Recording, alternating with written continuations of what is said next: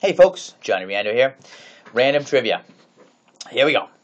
Which planet of our solar system was the first to be discovered by telescope? You know what to do. Head to Facebook right now. Be the first one to answer the question, and uh, you could win the gift certificate.